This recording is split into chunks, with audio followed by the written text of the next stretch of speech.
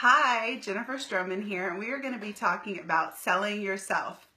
Okay, maybe not like that, but whenever you come into this industry, there's one thing that you need to know right from the get go, and that is people buy people. People do not buy products, people buy people. And what do I mean by that? You can buy a product anywhere, right? You can go and get weight loss or, or hair stuff or lashes somewhere else, but whenever you are in direct sales or network marketing, people are looking for the relationship. People want to join those that they have a relationship with. So people buy people. And if they don't know you, they're not going to invest in you. And it's so important to know that early on. So remember, people buy people. Okay?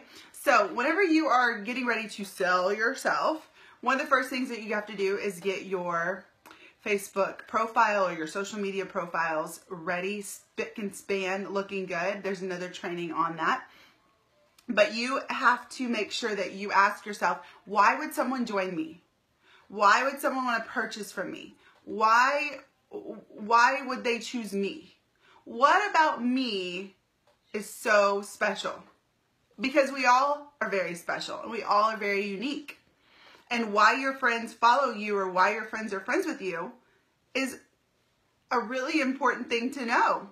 Why are people flocking to you? What do they gravitate to? You need to know that ahead of time so you know how to react to this question. Why would someone buy from you? Why would someone join you? So here's the thing. If you were to look at yourself, look at your profile, look at you in life, what is it that stands out? What is it that they that people like about you?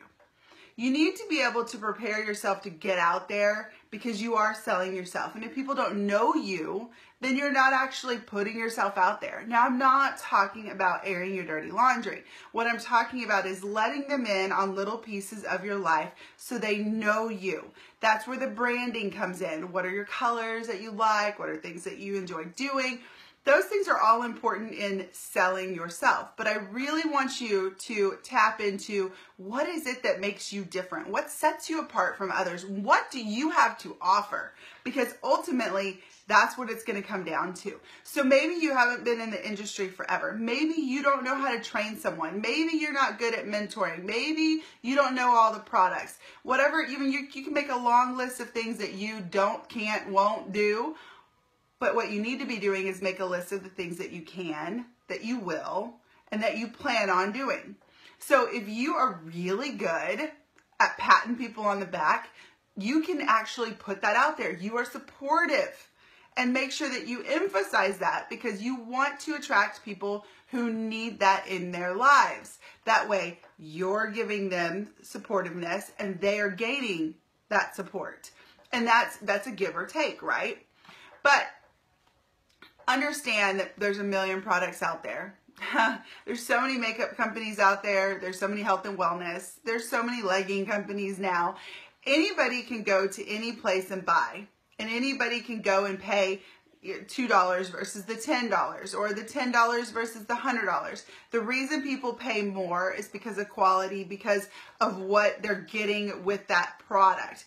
What what people don't understand is if you go to a jewelry store and okay, we'll go to Walmart. We're going to go to Walmart and get us a necklace. It might come in a little red box or blue box or something and whatever, okay? So you go and you pick out this necklace. You're there for five minutes, 10 minutes. You may or may not have somebody walk up and help you, right?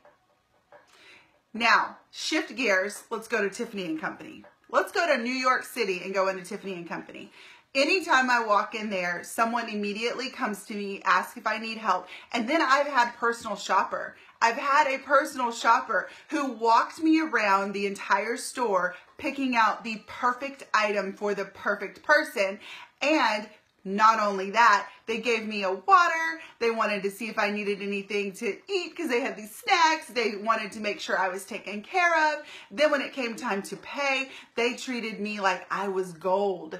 They had the gift wrapped. They put it in a bag. They had separate area for a receipt for gift and a receipt for myself. And they went on and on about, you know, how wonderful it was that I was purchasing from them y'all, this is Tiffany and Company. Shouldn't I be the one like, oh, yeah, like I'm purchasing from Tiffany Company in New York City? No, they catered to me. They treated me well. So when you, yes, Walmart's cheaper, yes, I could, well, I would have never been able to get the piece that I was looking for, but I could get something else, right? And it's cheaper and it's easier. But the reason I went with Tiffany and Company for that particular gift is because of their prestige, because of their the way that they treat their customers, because of their mannerisms. There was a reason I chose that store. And it's the same thing with you. You are your storefront. You are the Tiffany and Company. So treat yourself like you are the Tiffany and Company. Hold yourself accountable and keep yourself looking good. If you get on Facebook or any other social media and you're very negative, you're going to basically knock down your image. If you're on social media and you're uplifting people and maybe you, you're throwing some truth bombs in there, but you're very stuck on your ways and you have a particular way that you like operate on a daily, you have the integrity, maybe you always love to have inspirational stuff, maybe you really don't like bullies, whatever you're standing for, hold on to that. And when people buy from you, appreciate them. Now, I am not saying give every customer a gift or anything like that, but what I'm saying is appreciate them. If they are repeat customers, make sure that you're sending them thank you cards or, you know, if they've been a customer for your of yours for a while, maybe send them a free gift. There are things that you can do to make sure that the customers feel appreciated. Just like Tiffany and Company, they send emails all the time of promotions and different things. And oh, for since you were a past customer, you get this percentage off. They appreciate me. I've never gotten that from Walmart from walking in and picking up a piece of jewelry. So think about the way that you are handling your business as being a storefront and start selling yourself.